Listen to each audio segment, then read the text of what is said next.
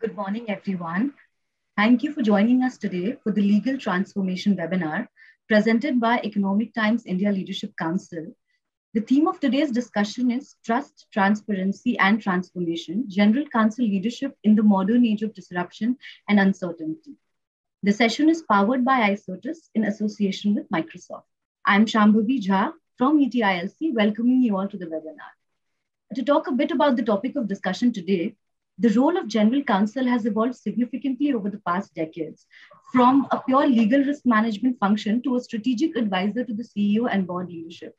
This cadence of constant transformation has only accelerated in this new decade, are driven by the need to bring in revenue cycles, the uncertainty of a global pandemic, risk of cybersecurity attacks, ever changing regulatory landscape, and threat of reputational damage. Uh, in response, general counsels are rethinking their leadership roles and extending their influence by introducing innovative technology tools and cultivating new talent and skills for their legal departments to thrive in this age of disruption and uncertainty. And this legal transformation webinar today will commence with leadership insights on the positioning of legal department and its importance in India, with focus on strengthening trust and transparency, two pillars that are critical for all business relationships, especially in the face of privacy and cybersecurity.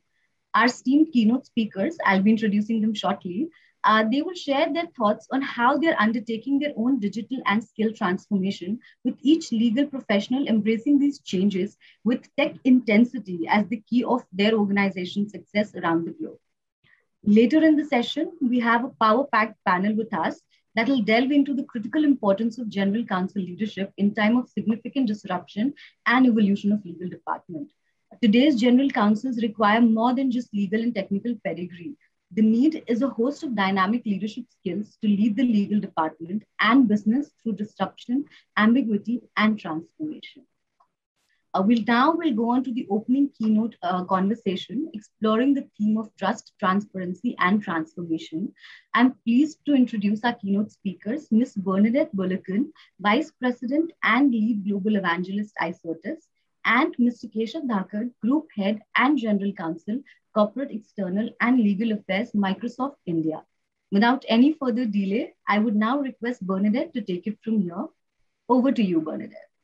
Audio cut, holding slide activated. Bernard ma'am, stand by. On my count of three, we'll go live. Three, two, one, zero. We are live. Go. Well, good morning, everyone. And what a pleasure and delight it is to join all of you this morning. And what a way to kick off the weekend to have uh, Keshav and this panel that we were going to meet shortly, being able to learn from them uh, be guided by their insights. I am just so thrilled to partner with the Economic Times in this very esteemed panel. And what a strange and very exciting time we are living in from the pandemic to the supply chain disruption that we're seeing, uh, from expectations that are changing from our consumers. There's no doubt that this is a time of great and hyper change. And these forces are extremely affecting the way legal departments, the type of work they are doing, how they do that work, the people that are coming into the departments. It is changing how legal departments function today and into the future. And it's why I'm so thrilled to start our conversation with Keshav.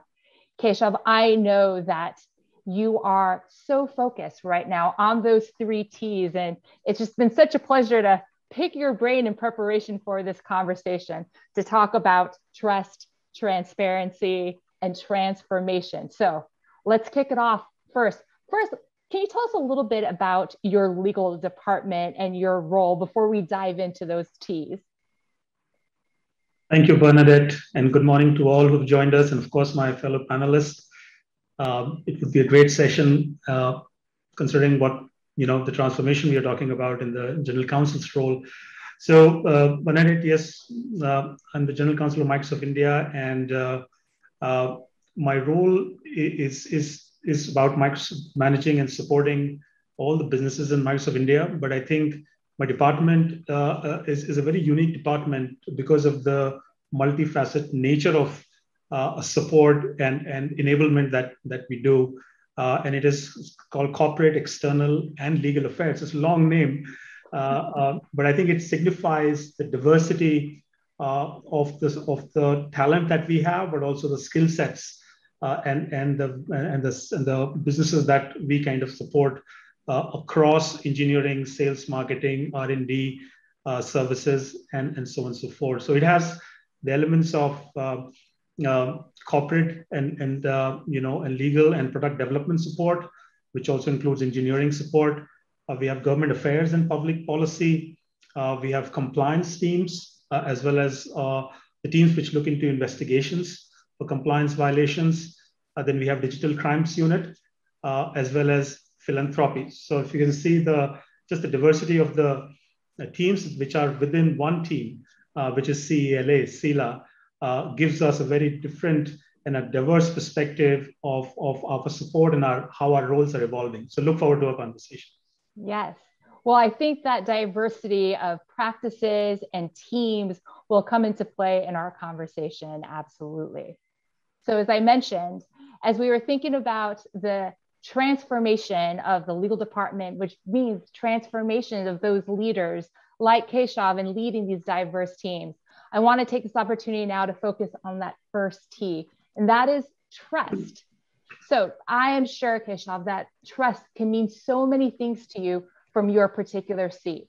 It could be the trust that your teams are building with their stakeholders, of, of so several stakeholders that you have.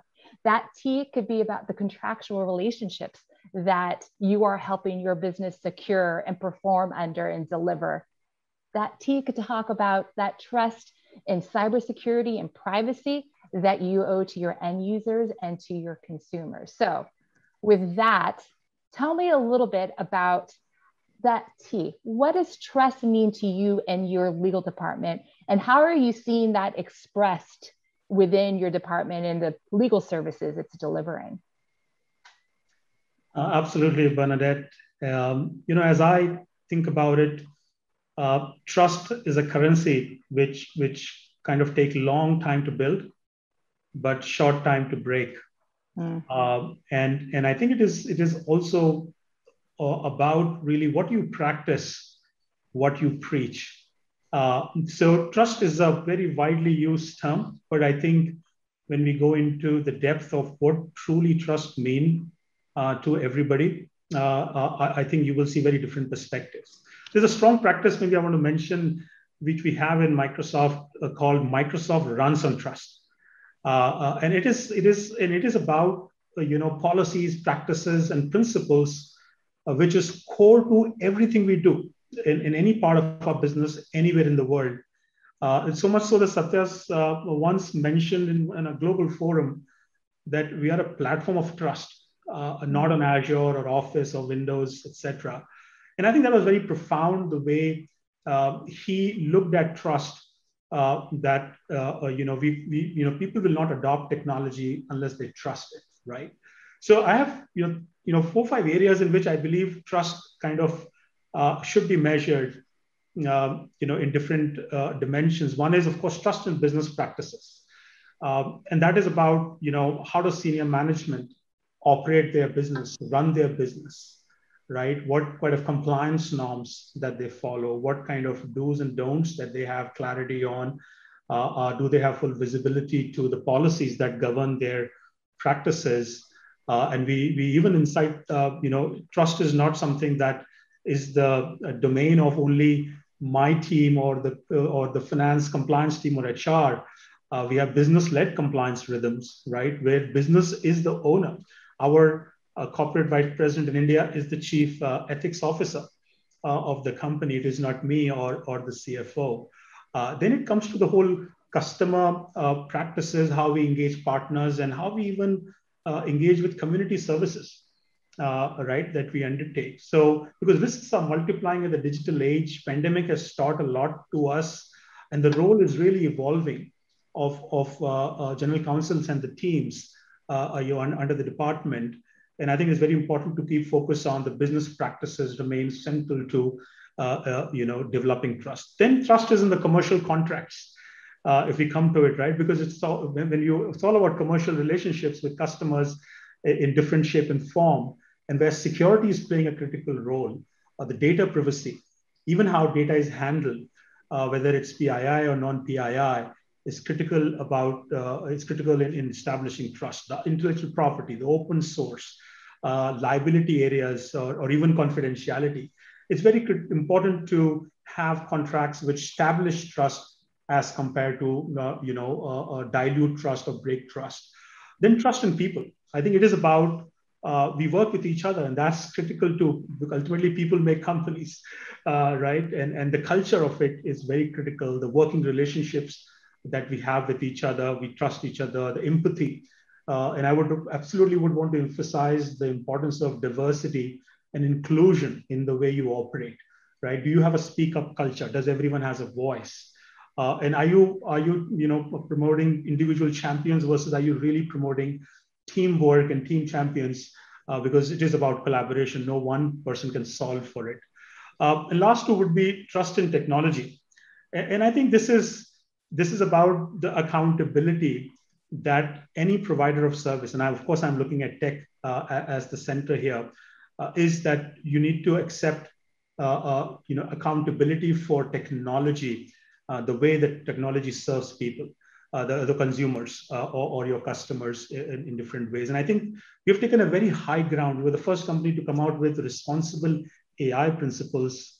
Uh, our uh, global leader, Brad Smith, even wrote a book, Tools and Weapons, where he mentioned that while you develop technology, which can be very productive tools, but if, if not used properly or not developed with, with responsibility, then it can even become a weapon.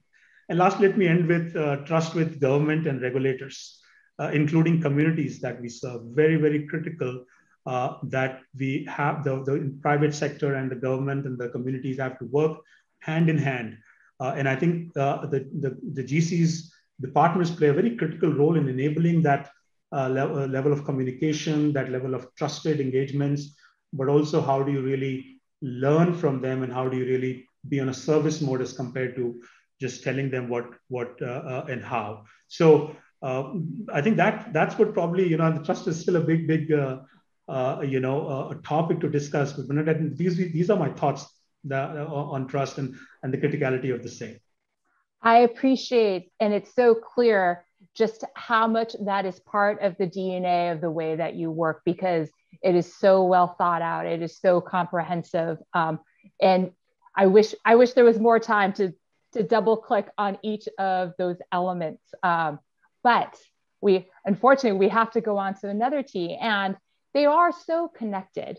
Um, if you live in pools of trust, whether it's your commercial relationships with your um, your business practices and technology, all of those elements you've described, um, with that trust, you have to operate with also a level of transparency. And I do believe that in this arena, that transparency is playing a new and dominant role. And, you know, just as you've described, that could be transparency about your use of AI, um, the security of the cloud. Um, that transparency might come into play as it applies to um, ESG. Who are you working with? What are your business practices? Are you a sustainable business and adopting those practices? So tell me a little bit um, about how transparency uh, guides your practices and your business. Thanks, Bernadette. I think transparency, the T of transparency, is one of the core elements of trust. Uh, and and it is it is one of the most talked about concept in the digital age uh, today, as we see around, if you really carefully observe uh, as to the discussion around tech and how it's how it is impacting people and and the opportunity that we have to to um, solve for all the problems of the world, uh, leveraging the power of the tech. Uh, the transparency is key, and I think when you think of as simple as you know between a service provider and the consumer of those services and the regulators, does it have enough? Do we do we bring enough transparency? uh, so we can work harmoniously and we have, we have less friction and, and, conflicts and we can look forward in the same direction. So transparency is one of the core pillars of trust, as I said. And I think, you know, uh, uh, and, and, so one is the external side of transparency, but I think let me just bring a bit of a, uh, the way in which my department and its workings uh, demonstrate uh, or practice transparency. So it's a journey for all of us. I think first thing, it starts with, uh, you know, when you, especially when you work in large organization with multiple departments sitting across different time zones, you know, uh, what steps are you taking to break silos within the department? Uh, right, and silos has been, I think silos still exist in, co- in corporations and organizations. Uh, and, and I think there's a lot of, lot of tech has actually I would say, you know, uh, breaking those barriers has been enabled through tech.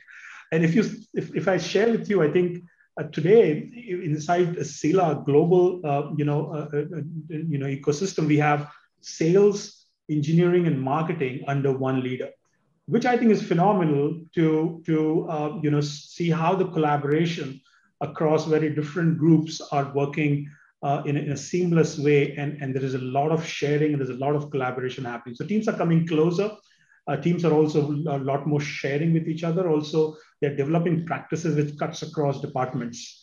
Uh, then I think uh, when it comes to transparency, I think, uh, you know, we all know how complex contracts or commercial terms can be, or just the terms of use, uh, you know, for various services. And I think we have been on a journey for, for many years to from the bulky contracts and very, very lengthy detailed contracts, how do you really bring shorter templates?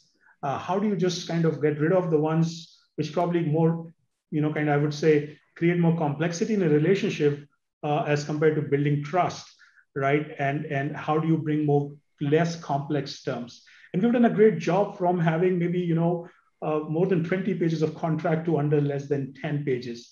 So that is something important, but also I just want to say how do you simplify a complex term which is well understood by the contracting party on the other side, their lawyers, including the engineers. Sometimes even the R&D people are involved in interpreting what those terms mean and what implications can have uh, to our salespeople. So it's not just, you just can't limit yourself in saying, as a legal expert, I can interpret this contract very well, I can understand each word, but you have to simplify as to the people it is serving. They can understand it well and you bring that transparency as to what you want to achieve out of a particular clause or a contract. Then I think the transparency, as I mentioned, is related to silos. It's about, you know, do we have cross-group learnings, capability development there? Do you have V teams which cut across different business groups? Uh, what we call it one Microsoft approach is one of our culture elements as that do we act as one Microsoft, right? Which means all different departments who serve different business groups have different reporting lines, uh, are you able to come together to share across the business groups? I would say knowledge management is another area uh, which is core to transparency uh, and how you support the businesses, right? You can't be a resource for everybody all the time because that's just not possible. And, and, and how do you manage your contracts, the, the, the legacy uh, and, and the future contracts, the new ways in which you are uh, developing bespoke, customized contracts, all are very, very relevant uh, for you for, for you to really bring that level of uh, uh, transparency in terms of how the journey has been and where is Microsoft moving. So when you explain a decision, when you explain uh, a challenge to, to a business, uh, you know, your business clients or to a customer, they're able to really fully appreciate where you're coming from. And I and I want to congratulate. I mean, we have been partners with iCertis for for decades, and, and you have really helped us mature our ability to do global contract management, where we, today we are using AI analytics on the contracts to really learn how certain agreements and relationships have shaped up over the years, and, and what do we learn from them to, to bring better decision making, uh, better negotiations, having a better planning framework so we don't lose time and we can leverage the, the knowledge. And of course, how do you bring clear communications, both when you engage externally with your customers, partners, but also internally uh, with your colleagues and your business clients. Uh, that is music to my ears uh, about transparency and contractual processes and in those relationships. Uh, we have seen a change um, in transparency with simplification. And I think that is a trend that we are seeing across, um, and especially in transparency and language. Too often, we are writing contracts as lawyers for other lawyers, and how empowering it is to be transparent to our stakeholders uh, so that they too can be empowered by that because it is simple, it is clear, they are trained and we have that knowledge management. I think that those are all such keys to uh, transparent and trust um, in those in those relationships, both with the people that we are delivering legal services to within our business and to to our end users. So that is that is so fantastic. Um, what about transparency mandates um, related to supply chain? Is that something that you're seeing at Microsoft right now? Uh, no, absolutely. I think um, you know uh, transparency is cutting across our all services, supply chain, cloud services, and and also you know at what each stage in which contractors, our employees as well as vendors uh, and, and, customers engage. You know uh, what what uh, how transparent is that relationship, right? And let me just kind of you know uh, reflect on on, on uh, maybe particularly on the cloud contracts, right? I mean, we own 200 plus data centers serving 195 countries. So that's a very heavy lift uh, uh, and a responsibility do we have. So, so the so the, the, the number of engagements that we would have across our uh, supply chain at, at, different parts of the world uh, require uh, you know very clear terms of contract.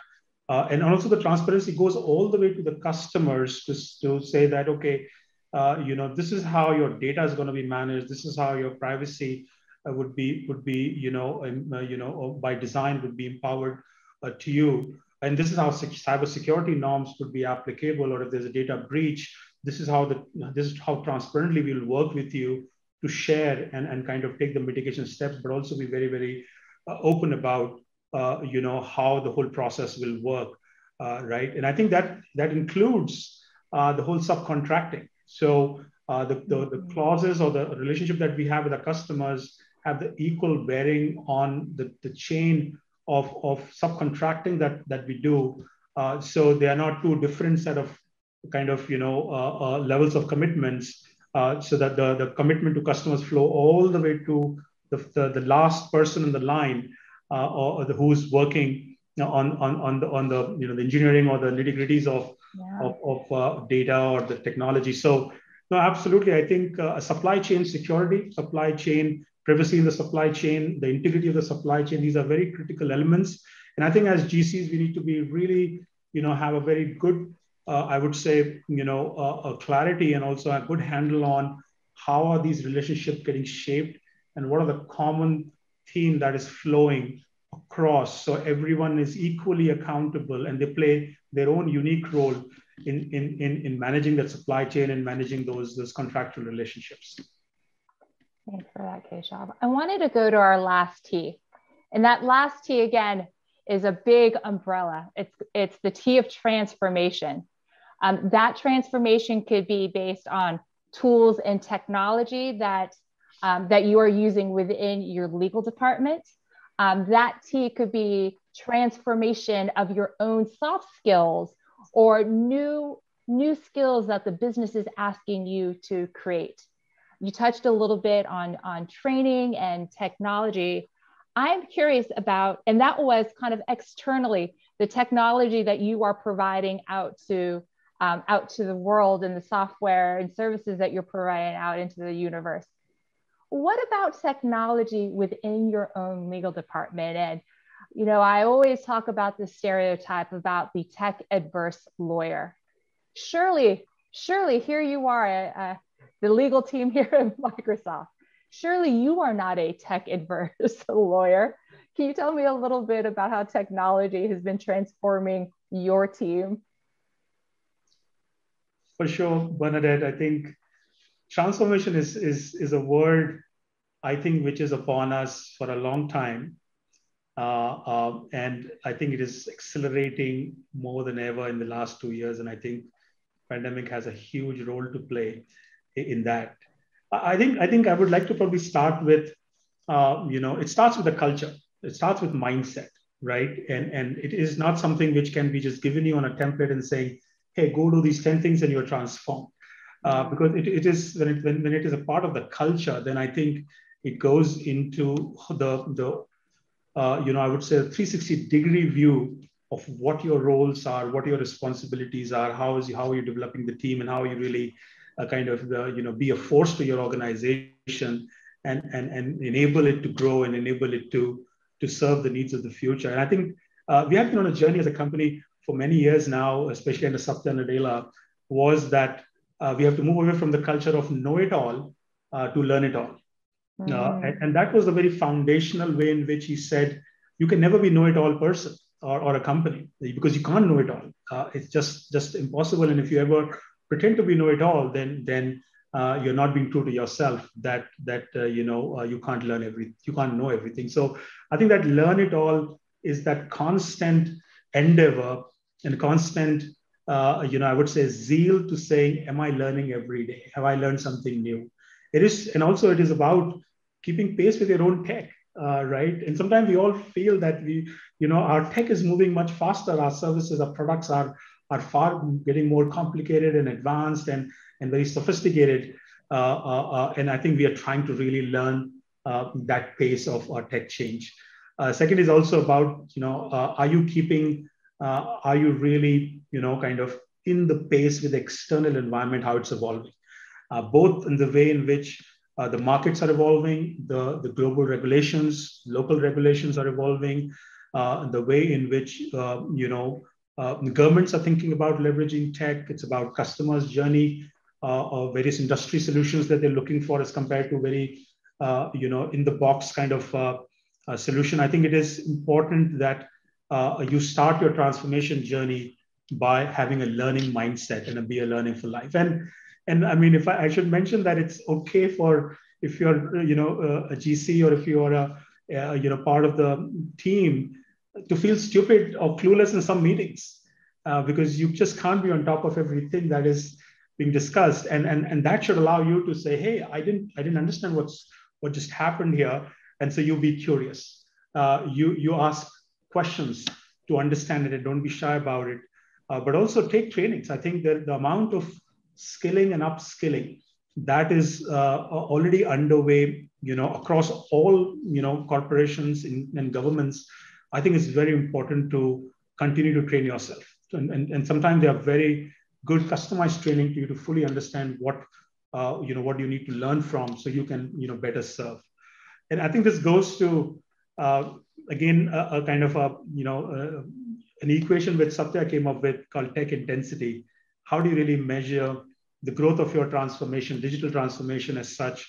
And he used the word uh, the, the equation of uh, it is any organization can measure and i said any department can also measure uh, their tech intensity by assessing the, uh, the, the tech adoption trends that you have inside your uh, teams or an organization versus are you building tech capabilities to be able to deploy and use those tech uh, applications and tools. But that comes with the power of trust. Are you creating trust with those tech applications and, and capabilities as compared to creating more roadblocks or having productivity issues if people don't trust that tech? And I think adopt for our, our journey has been on, you, you mentioned that it comes, it should come naturally for, for someone working in Microsoft and other tech companies to adopt tech. But we've had our own journey to the cloud. Uh, and, and I mentioned silos are something which we have uh, we have broken over the years where various departments would keep their data and their files and, and, and knowledge in their own servers uh, and they were not you know uh, in, the, in the cloud. And i think over the last 10 years we've had tremendous journey to move to the to the cloud and, and, and bring that modern tools adoption journey, including adopting data analytics, uh, AI, in the way we do compliance analytics, the way we look at you know policy uh, violations. We, we look at Power BI to visualize data. We have a pretty big uh, data science team inside CELA. Uh, and of course, then we have teams, adoption of teams. and I can say very, very openly that uh, you know, we are using less of Outlook today, which is which may come surprise to many. We're using more of Teams because Teams is not just an AV solution; it's a productivity and a collaboration platform.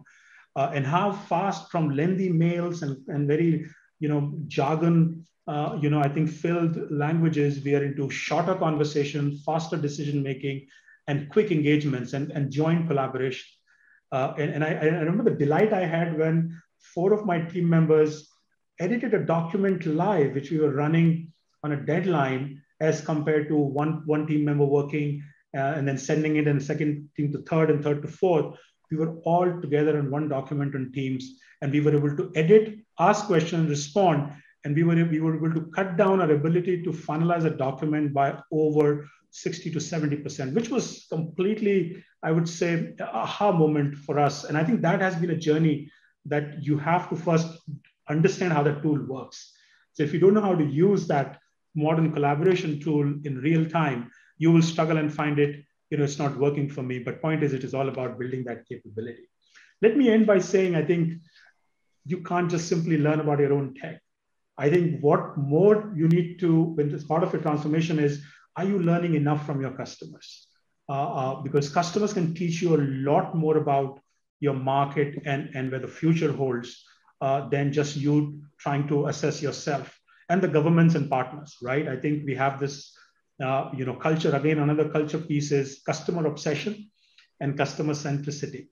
Uh, and these two are really driving us to saying, we want to learn it all. Again, you know, we are not on a journey to tell a customer what we can do or what they should do. It's about what we can do and what we can learn about you and that also uh, brings uh, you know uh, a, a, kind of a responsibility on the GCs and the teams to say, do we understand the external environment enough, and do we need to develop the industry depth? Do we need to develop more, you know, the government programs and also, you know, how partners are evolving? Ultimately, I will finish with the fact that I think we all feel like new employees all the time, right? So I've been in the company for 14 years. Uh, to be honest, every day is is you feel like, oh my God, this is so much to learn and so much new new is happening. So I think having a learning and developing roadmap for my team uh, we do constant trainings. Uh, we have customized training for CELA. Of course, we can't learn every single aspect, but I think it's to choose which trainings you require, which learnings you need to have, uh, and have set dedicated time in your calendars. Because work sometimes just sucks you in so hard every day that you figure out, hey, where do I have time to sit and just read and learn something? I think I think it's doable. You just have to have a discipline for it. Well, I I had written down have a zeal to say, Am I learning something today? And I think with that, Keshav, I think you have infused all of us with a great zeal of learning today. Uh, I appreciate so much your comments on these three T's and so many more T's, obviously, than just the tra- trust, transparency, uh, and trust, transparency, and transformation that we spoke about, because you talked about some key ones technology, uh, teams, both, both the both the the teams that many of us use on a daily basis and the humans that we connect with. So many terrific T's that again are just part of this journey. And i think that is my other takeaway. Not only having a zeal for learning but to know and to give ourselves grace because it is a journey. And how lucky are we to to learn? And how lucky were we to to learn from you today Keshav? So thank you very much. Thank you bernadette. Holding slide up. Thank you. Sambhavi, stand by.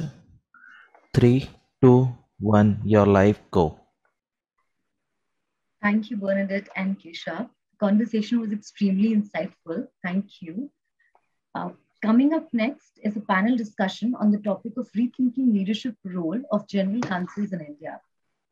We have a power-packed panel of innovative legal leaders today with us to talk on this topic.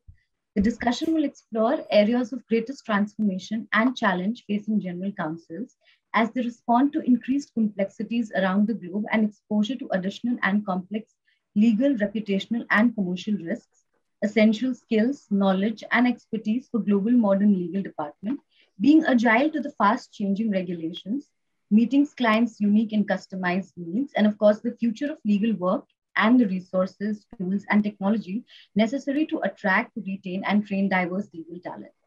Let me now introduce our panel. Uh, we have with us today Ms. Debolina Partap, Senior Vice President, Legal and Group General Counsel, Wockhardt.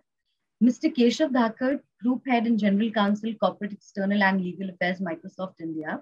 Mr. Vikash Jain, Group General Counsel, Vedanta. Mr. Vineet Vij, Group General Counsel, Tech Mahindra. Ms. Rachita Maker, Vice President Legal, Tata Communications. And the session will be moderated by Ms. Bernadette Bulacan, Vice President and Global uh, Lead Global Evangelist, Icertis.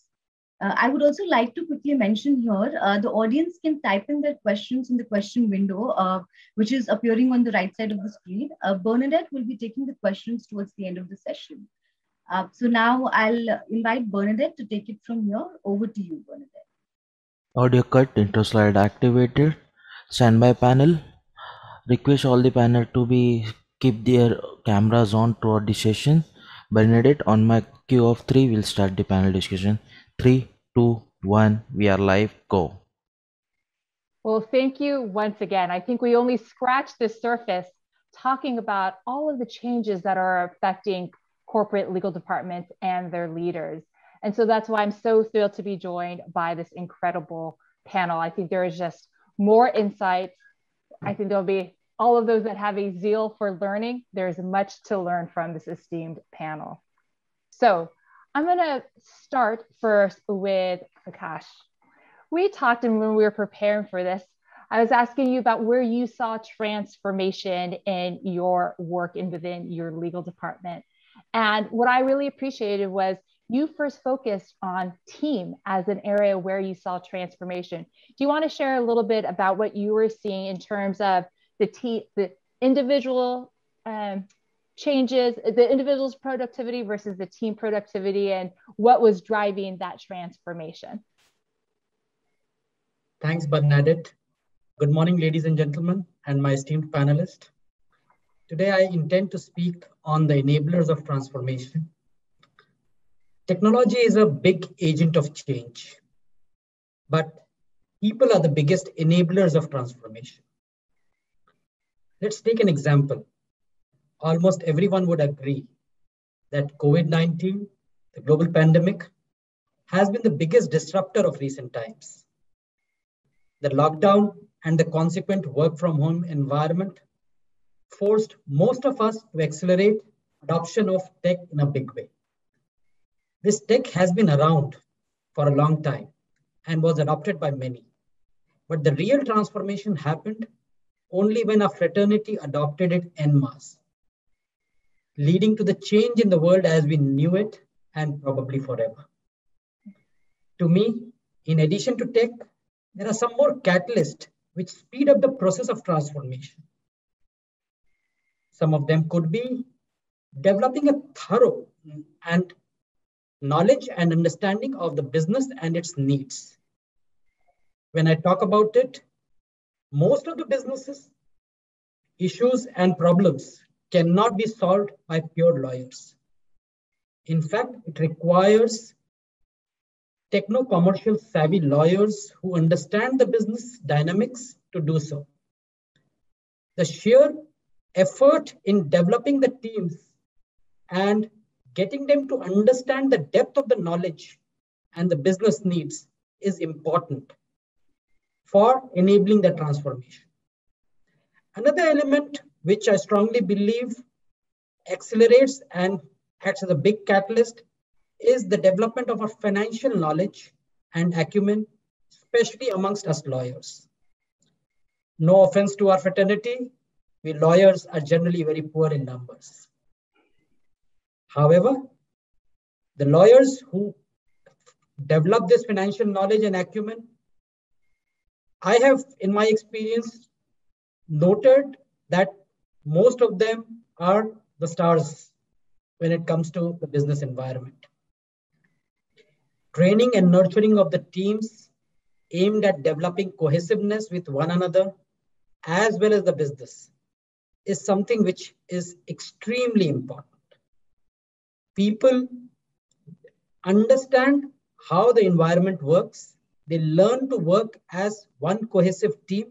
Individual performances are important, but teams important are the most important. Team performances are the most important. Last but not the least, benchmarking and analytics is and its application to decision making is something which we value extremely high. That's something which is creating big agents of change. The sheer fact that acknowledging the fact that there are people or teams or groups which are better than us and learning from them. learn it all is what Keshav said. And I take it from there that learning from what is already there and using that knowledge, analyzing it, being data centric, and apply, applying it in our day to day work is something which makes our decision making extremely easy and focused. Thank you. Over to you, Bernadette. Thanks, Vikash. I, what I love about that, and it goes to something, Keshav, that you said, that your legal department had had uh, data scientists. I would love to think of a legal engineer, data scientist that is looking at a process that isn't afraid of numbers. And I do think, uh, to your point, Vikash, that that is about training. And it's the one of those skills that maybe as you're looking at your learning roadmap for everyone that's joining us, uh, what your, your 2022 roadmap can include financial acumen, so important for corporate legal teams to have that and to have that comfort and to understand that business. And I do know that that has been more difficult to have that opportunity to have that knowledge training, whether it's about legal topics or uh, the business or financial acumen. But we need to make room to learn so we can go on that, that journey of transformation. Debolina, when you and I were talking, we are talking about, again, some of the technology and tools and similar to many of the panelists, you really focused on those tools for collaboration, not just within your own business and with your own stakeholders, but even how you were working with, with tribunals and other, other lawyers. Can you tell me a little bit about what's been driving that change for you and a little bit more about what that impact of that transformation has been? Uh, thank you, Bernadette, and good morning, everyone. Uh, the, as uh, said, you know, the pandemic uh, and COVID-19 conditions across the globe has, uh, you know, made us not only learn new things, but also unlearn a lot of things which we knew. So uh, we had to start, and you know, being from a healthcare and pharma background, our organization has you know verticals in various streams of pharma, biotech, new chemical entities, and healthcare, uh, we had to literally, uh, I would say 99% start on a blank slate. So even uh, the legal department, you know, we had to look at the entire atmosphere of doing work, uh, organizing ourselves and engaging ourselves with internal as well as external customers and stakeholders with new thinking and new positive thinking. So, you know, we had to start from scratch as to, you know, how do we do the right thing, but in a different manner, in a different platform. And that's where uh, a technology or a digital legal department uh, helped and it was born as far as you know our organization was concerned and i must share with you bernadette that you know, we have digital champion in every department in our organization, including the legal department, who runs through the technology process with internal and external customers. Uh, uh, the how we deal uh, with AI and technology with tribunals for faster disposal of matters, how we deal with regulate with regulators, you know, championing uh, the form of technology it was a slow process it was a tough process because uh, you know uh, uh, changing a platform or technology in dealings with regulators and governments is not very simple and especially you know in jurisdictions uh, which are containing and consisting of developing nations it's not very easy.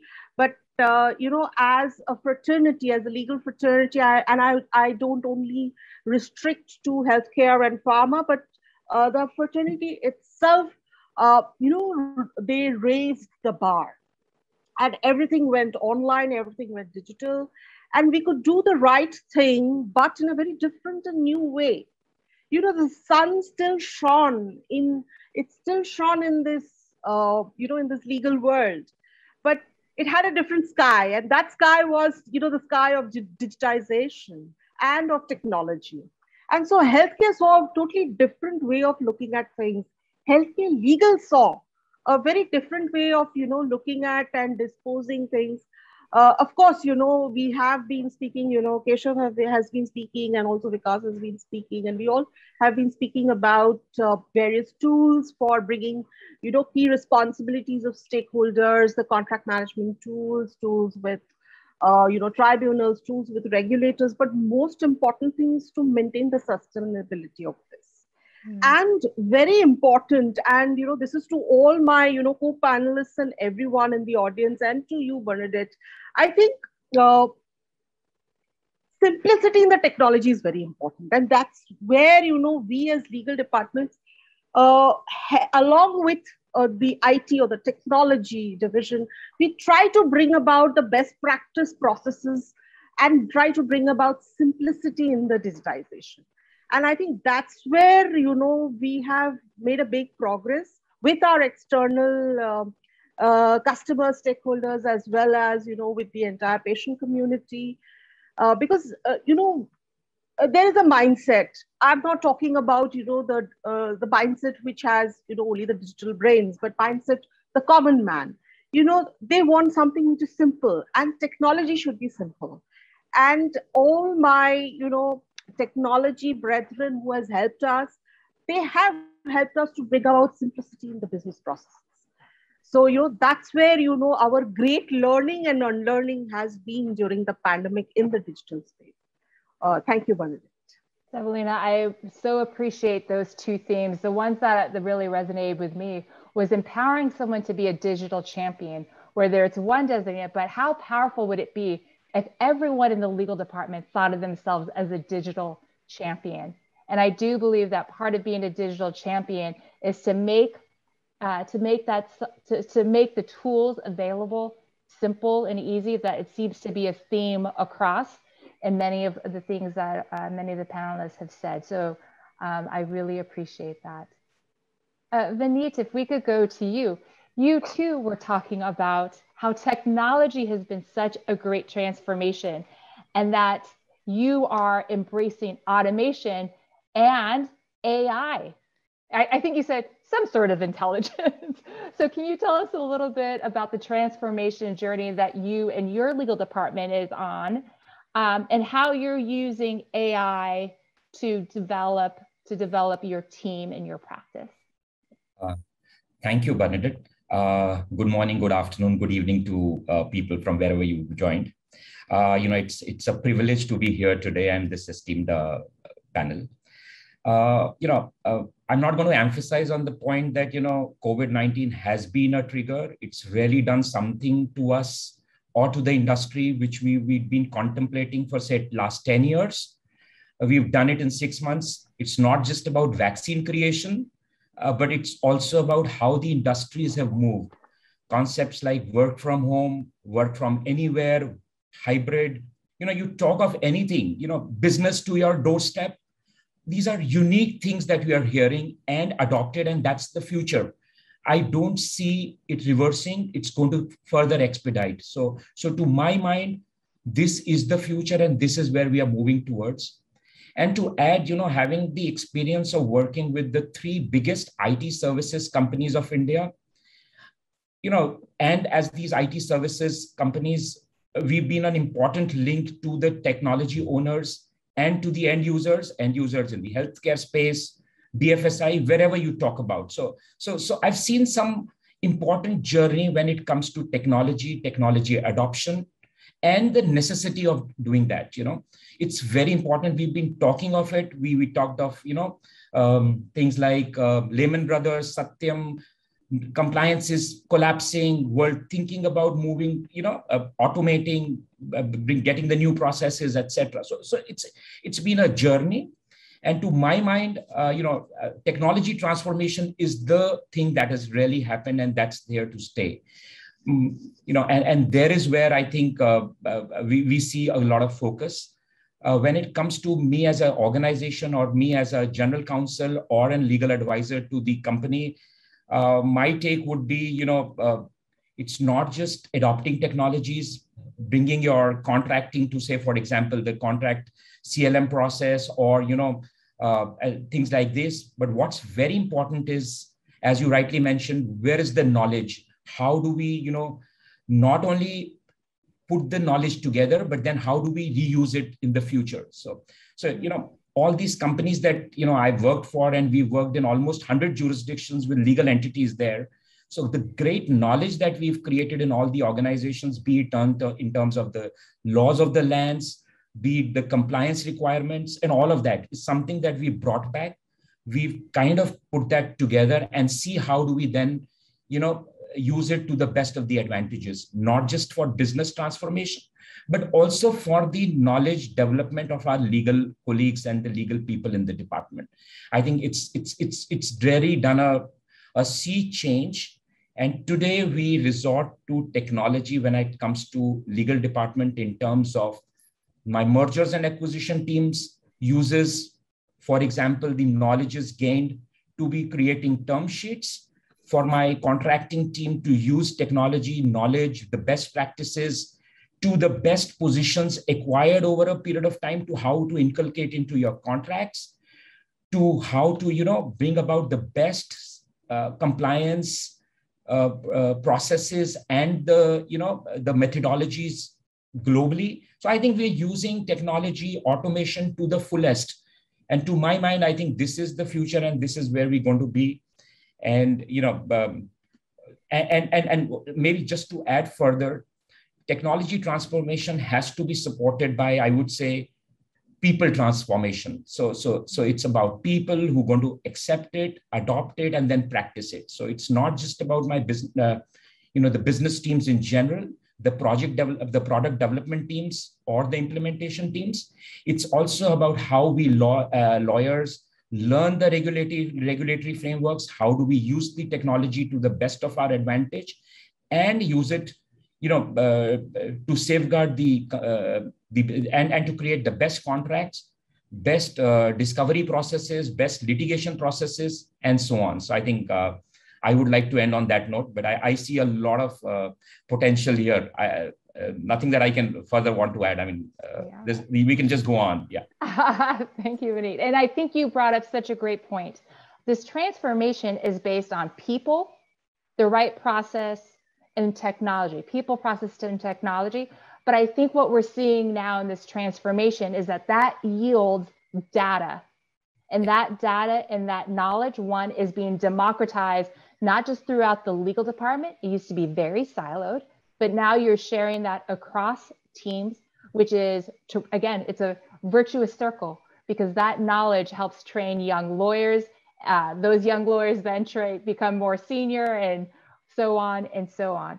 So I think that that is something major that we're seeing right now. And, and it's something that has been a theme for all of you is not just the technology for efficiency process purposes, but technology to create data, whether it's contracting data so that you understand best, you know, your best practices, your playbooks, your best terms.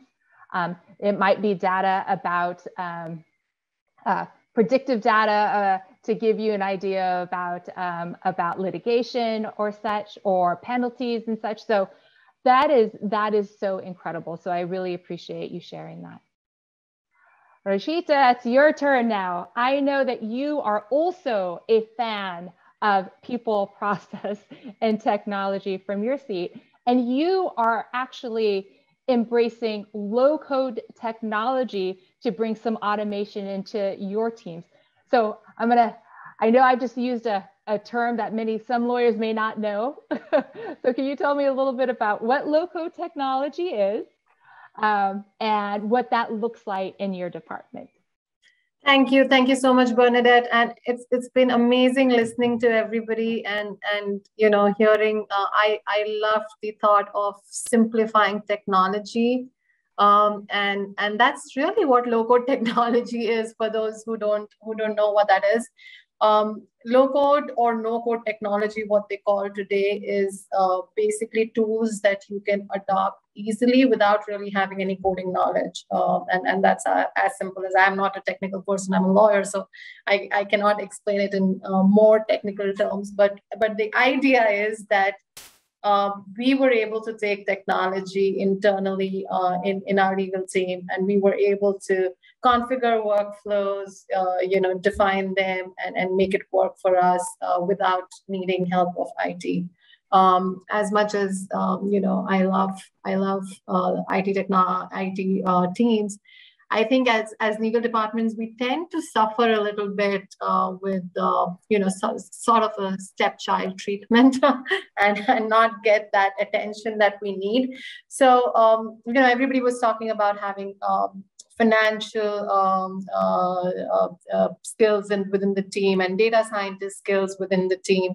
And I completely agree. I think having a cross-functional legal department um, with various skills um, is is the need of the hour. So you know we we need people who are data scientists. We need people who can understand a little bit of technology and make it work uh, for for the lawyers. We need people who are process experts and agile experts. Uh, uh, we need people who have other other types of uh, skills within the legal department. So so for us, uh, and you know everybody's talked about COVID nineteen as being a disruptor. Um, thankfully, we started our journey a little before um, COVID-19 uh, hit us, and and and and uh, I wouldn't say that it helped us 100%, but it kind of made our journey, our our impact of COVID-19 a little little less within our department because we had started adopting um, certain tools um, that took our manual processes. We looked at it, we we re- redefined it. We said, okay, what do we want our future process to look like?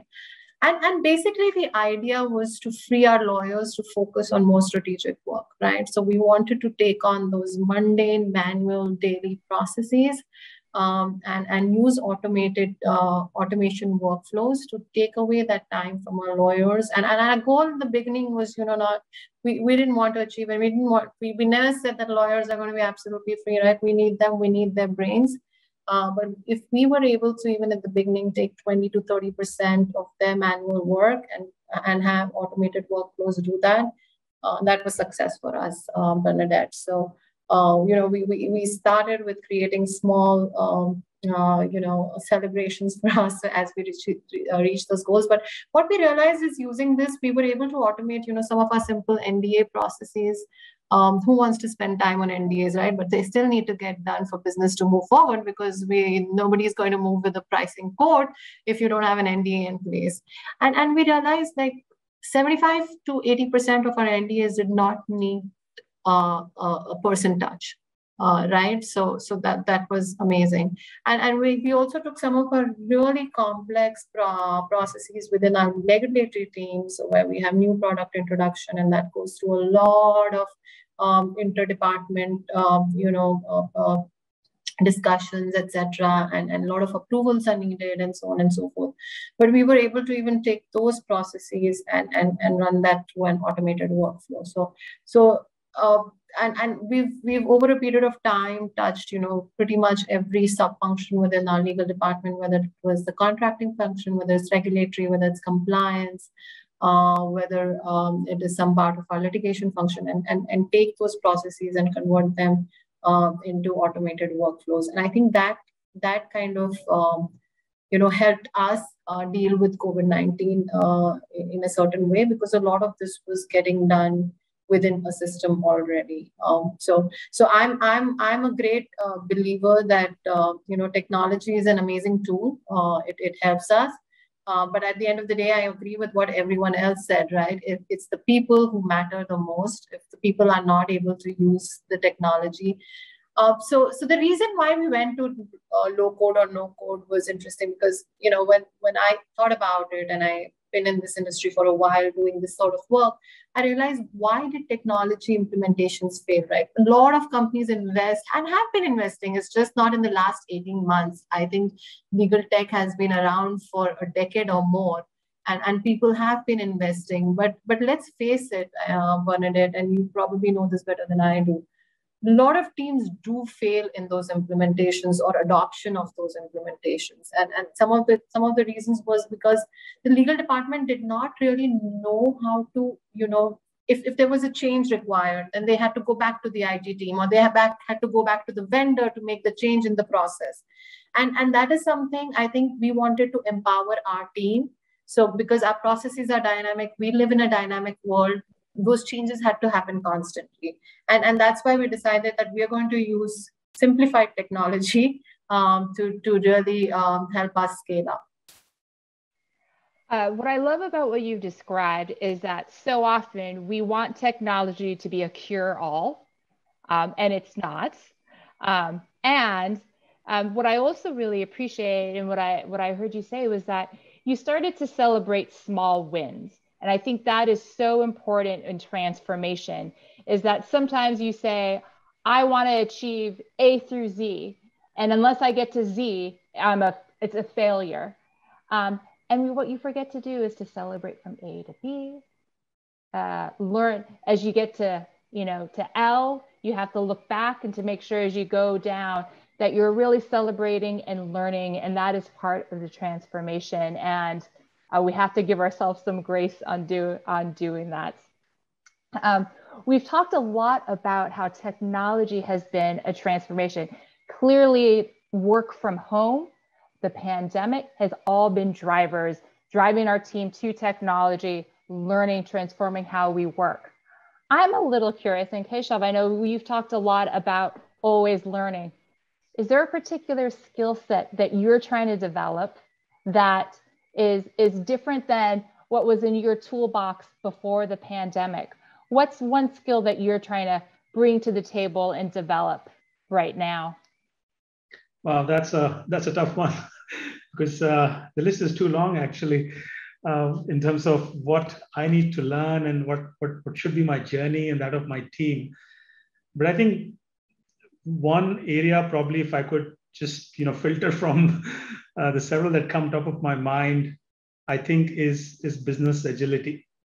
Um, how do you bring yourself to you know uh, learn more about business so you're able to you know address and and cater and and enable uh, the needs of where the business wants to go and i think that is a combination of not just relying on your current knowledge that you have and the expertise that you already are aware of whether it's regulatory or internal policies and and and, and the practices but i think is this ability to see what's coming in the next three years, next five years, right? Are you able to anticipate the way AI is going to be used and consumed in the future?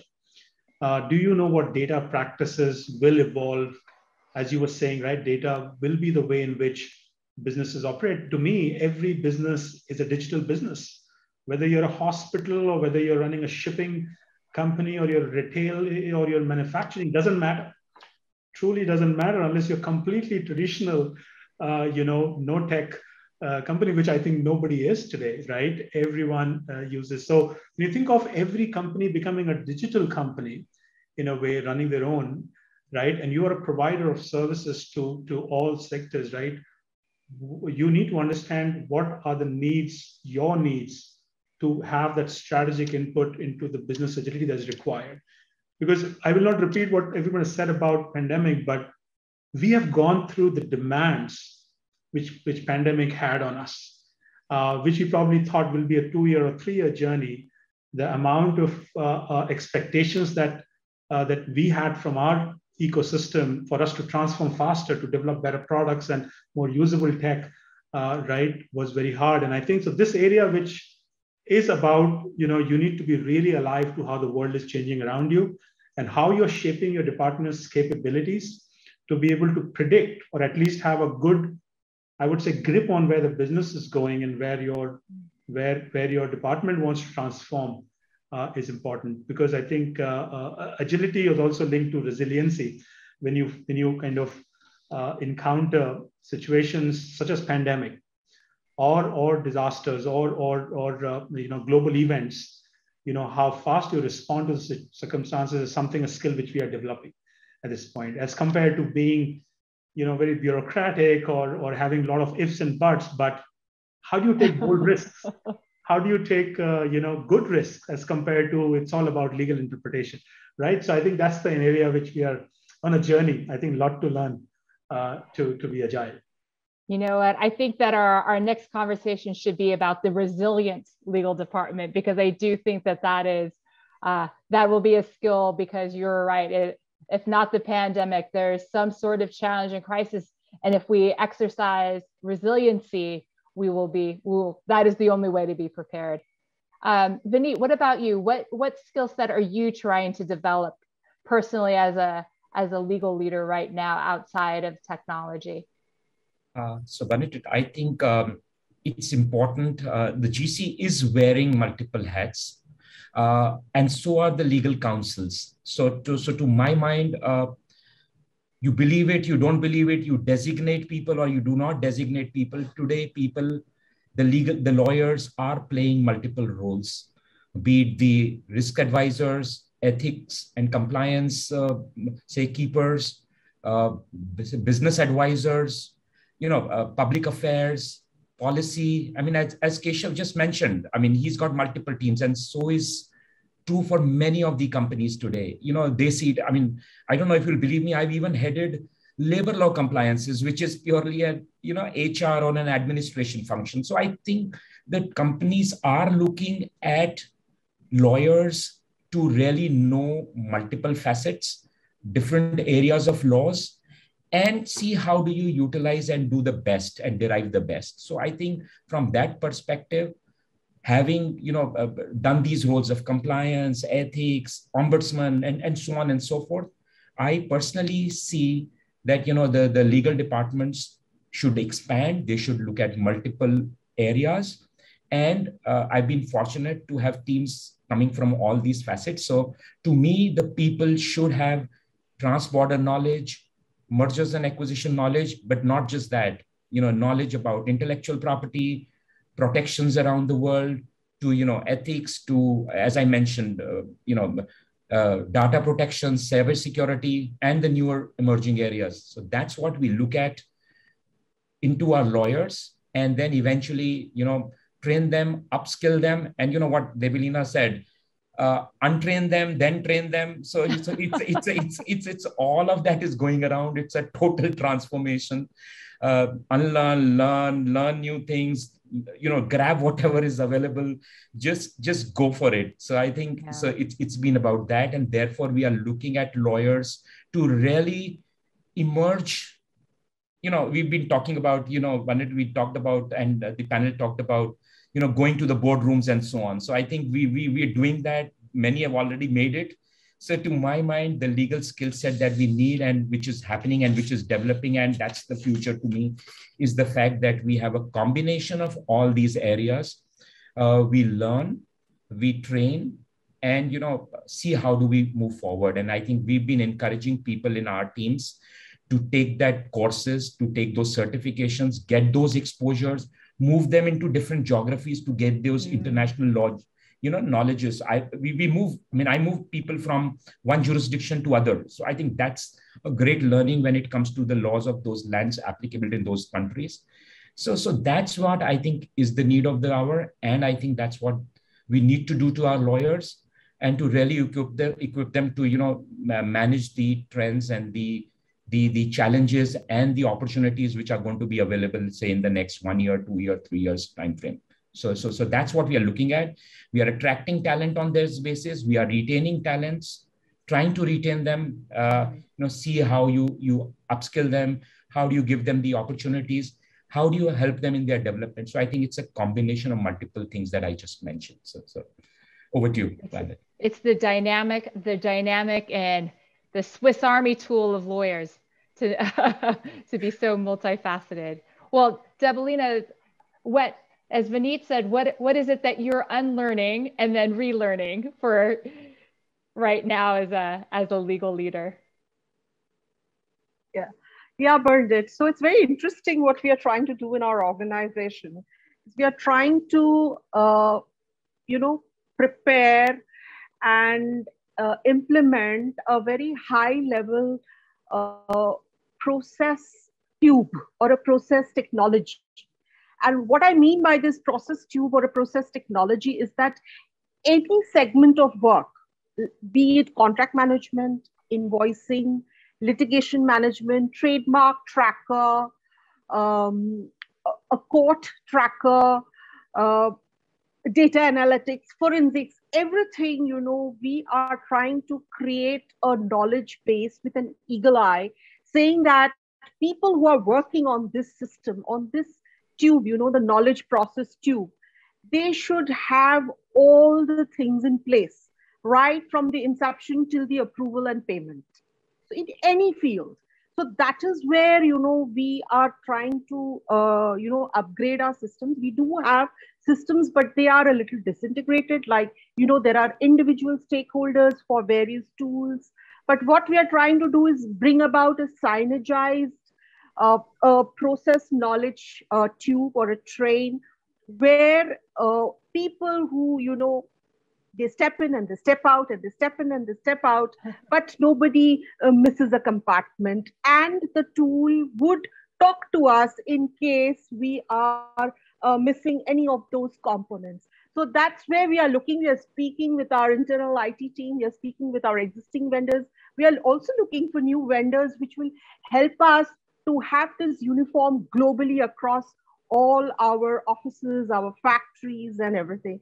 So that you know tomorrow, you know everything, whether it's an audit trail or an audit process or an you know a regulatory audit, it's extremely uh, transparent. And you know, in our industry, we rely very much on a concept called data responsibility and data reliability, and that is what we are trying to achieve as an organization. And obviously, because legal department deals with a lot of data, uh, churning of data and managing data. So we are a very vital part of this and we are in the midst of that process for it.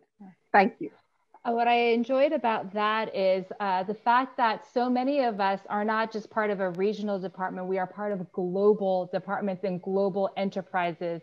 And sometimes we think about those silos by, you know, this division or this division. And sometimes those silos are you have to look at them globally to, to ensure that you're tearing them down. So I think that is such a great reminder.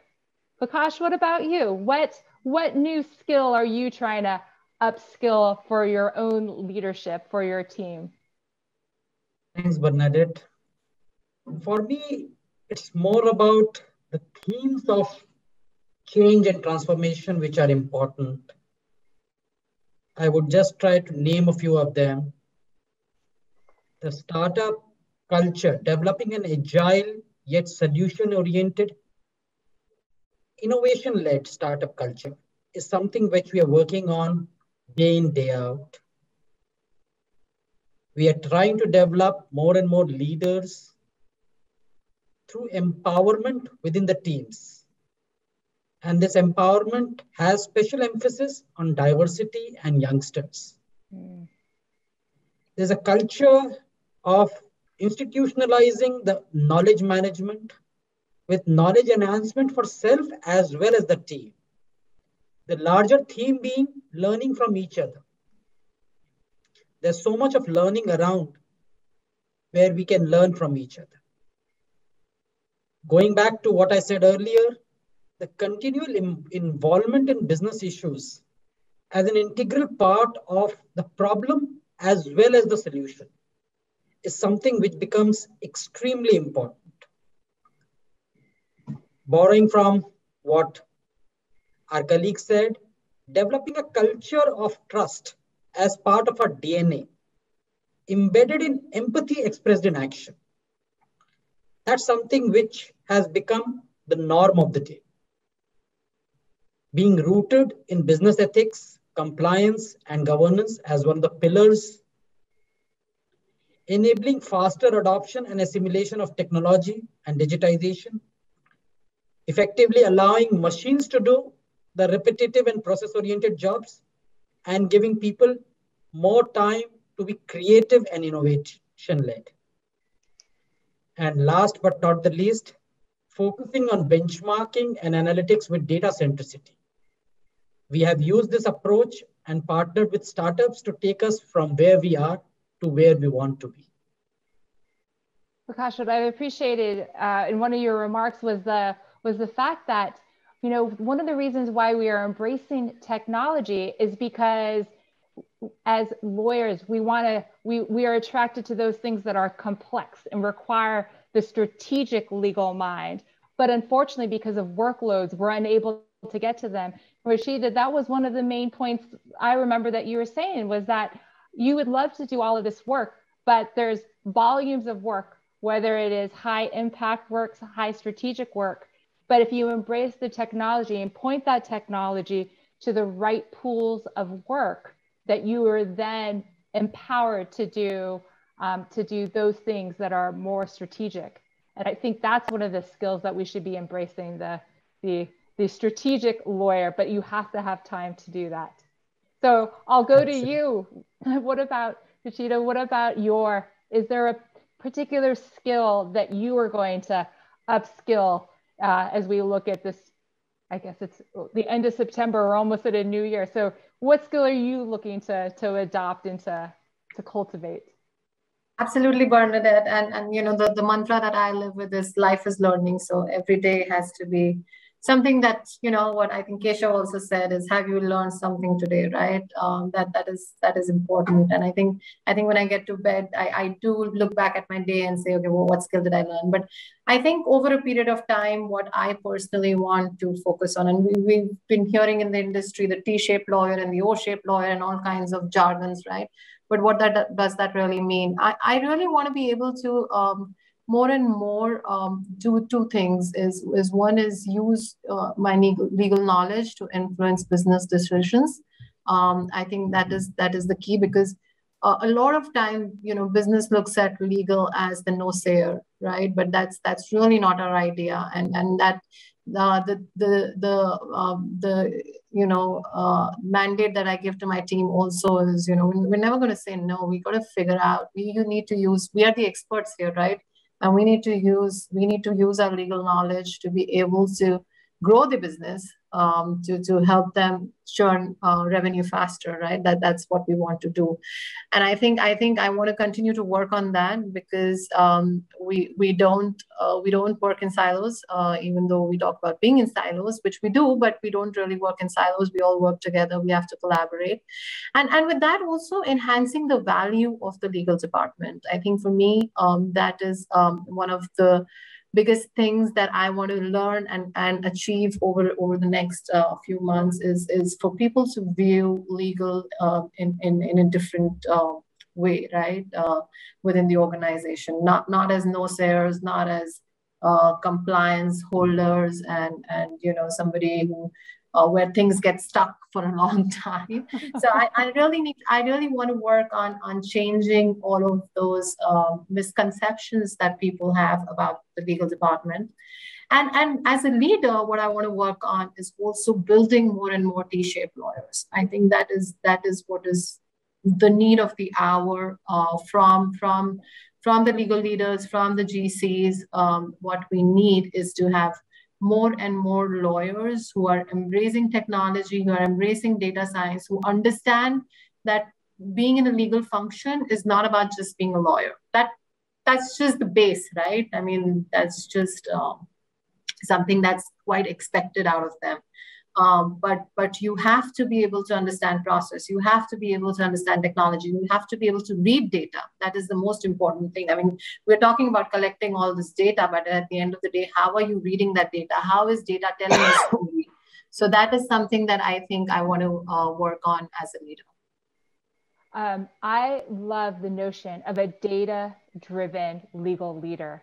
I know we were joking earlier about the the, the legal leader or the GC that shuns math. I often joke that's probably why we all found ourselves in law school, perhaps was our was our disdain of numbers. But at the levels that we are, we have to embrace data and being able to what we do have are the skills of advocacy and to tell a data-driven story. And that includes telling a data-driven story about your own legal department. And I think that's where uh, benchmarks, being under, to understand what excellence means for your teams and to surpass that. I think that's just really incredible. Rachita, I'm going to ask you a question because I'm not sure everyone knows what the T-shaped. I know what the T-shaped attorney is. I don't even know what the O-shaped attorney is. Can you just share a little quickly about what that concept is? So yeah, they they pretty much are pretty similar concepts. What they talk about is, you know, a T-shaped lawyer is where you're and I think I got this right. Your T, the the horizontal, vertical. this is vertical, right? vertical is your legal domain knowledge, um, which which you kind of work on, and and the horizontal is various other skills that you need to be a good corporate lawyer, right? Which is your negotiation skills, your people skills, your process skills, um, your um, so other other kinds of tech skills. So there's so many i think there's some seven or eight and i don't remember all of them but but the idea is that you're vertically expanding your horizons to various other functional skills and and and your business skills and and and the the horizontal the vertical is the the, the legal domain knowledge yeah so, um, so, so as yeah. a lawyer uh, to be successful in today's business they say you, you just don't need the domain knowledge but the whole whole spectrum of uh, different skills. Absolutely. Thank you so much. And I think that may be uh, what what better way to finish a conversation about the three T's, but then for you you yourself as a legal leader to become a T-shaped lawyer, not just based on your legal prowess and acumen, but having a host of skills that help you drive trust, drive transparency and will help you drive transfer, transformation uh, throughout your legal department. So uh, a great deal of appreciation and thanks to our esteemed panel. I know that, again, we are all leaving with a zeal for learning uh, and a great deal of practical knowledge to strive for those excellence. So thank you all so much for your time.